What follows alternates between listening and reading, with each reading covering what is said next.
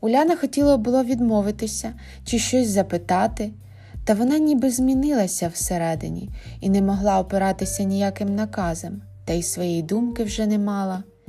Тому молода жінка слухняно випила ліки і знову лягла на білі простирадла. З'явилася Нудота, а далі стеля поплила легкими візерунками.